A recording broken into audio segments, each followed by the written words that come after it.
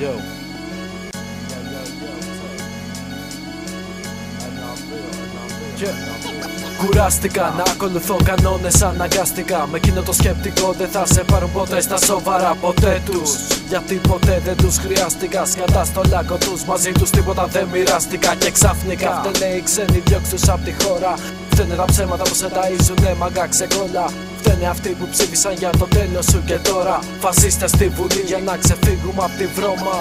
Η βρώμα είναι γύρω μας μα δεν τη βλέπουμε. Εκείνοι να χτυπούν το τέφι και εμείς να χορεύουμε. Εκείνοι να τρώνε και μισούμε για να δουλεύουμε. Εκείνοι να περνάν καλά και εμείς να ζητιανεύουμε.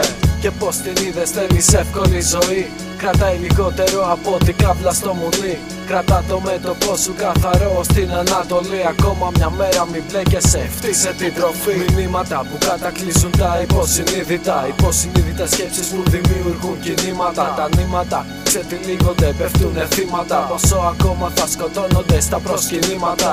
Παίζουν με στρατιωτάκια στα χαρακόμματα. Μόνο που το παιχνίδι έχει ζωντανά δολώματα. Μόνο που λερώσαμε τα ρούχα μας με χώματα. Σαλάνες που το παιχνίδι δεν βασιζόταν σε ονόματα. Οι μαύροι να σκοτώνουν λευκούς μες στην Αφρική. Και οι λευκοί Εβραίοι βασιλεύουν σε μια κουφιαγή Ευρώπη, Αυστραλία, Ασία, Αμερική. Στο τρίγωνο Ακρόπολη, Ολυμπία, Δελφή Και να μιλάς, μάθε να μην κολλάς. Μάθε να μην καταπίνεις ό,τι σου δίνουν να μασάς. Μάθε να σκέφτεσαι, μάθε να πράττεις, μάθε να γελάς. Μάθε να ξεχωρίζεις τα προβατά από εμάς. Μάθε να κοιτάς τα μάτια, να κοιτάς μπροστά.